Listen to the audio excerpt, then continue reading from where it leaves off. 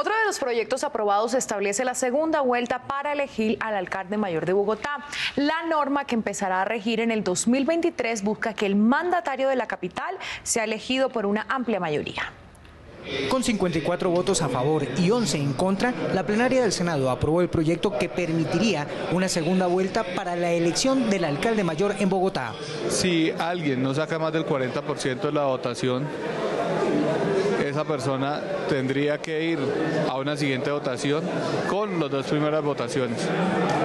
Allí se define un solo candidato y en el caso que ese llegase a superar el 40% y más de una ventaja del 10%, automáticamente quedaría elegido en la primera vuelta el candidato a la alcaldía de Bogotá. La reforma constitucional, impulsada por los partidos Liberal y Cambio Radical, estipula que el alcalde puede ser elegido por el 40% de los votos siempre que sobrepase al segundo candidato más votado por 10 puntos. Lo que se busca es precisamente eso, que hayan alcaldes que tengan la suficiente legitimidad para gobernar, que si no la obtienen en la primera vuelta, lo puedan hacer en coaliciones en la segunda vuelta, que le permita llegar con mayorías en el Consejo para poder sacar adelante los programas de gobierno que han sido radicados. Eso es lo que se está buscando. La decisión entrará en vigencia a partir de las elecciones de 2023 y no en las que se realizarán en octubre del presente año.